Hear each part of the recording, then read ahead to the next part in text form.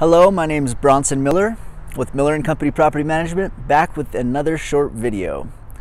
Uh, this video will be on the importance of a good qualifying process, as well as how to choose between tenants.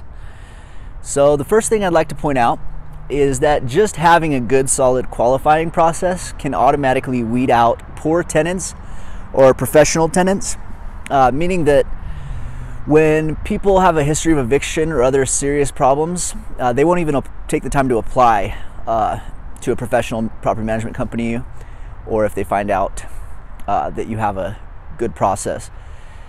Uh, so next I'll go over a couple of uh, good qualifying uh, indicators as well as recommended minimum requirements. So first and possibly the most important is going to be rental history. Uh, rental history can be a more accurate indicator because sometimes uh, people may have bad credit, but they always pay rent on time and take good care of their home. And on the other hand, uh, sometimes people may have great credit, but a history of trashing their rentals. So next would be a good credit score. It's a good indicator, but not always perfect for the reasons I just mentioned. Uh, third one would be employment history. A solid, a solid history is a great indicator that you have a dependable applicant because again, they could have a good credit history, but if they can't keep a job, you're unlikely to get rent on time. And finally, criminal record. In Utah, it's legal to ask about convictions, but you'll want to check your local laws. Also, it's important to realize that convictions are very different than arrests. And in the United States, we are innocent until proven guilty, so never ask about arrests. Also, depending on the crime that has been committed, this doesn't have to be an automatic no.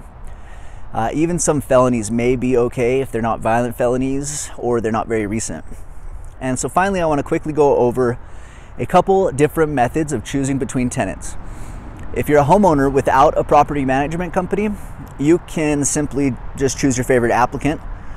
But if you are a property management company uh, you're definitely going to want to have a system in place and stick with it at all times to avoid lawsuits.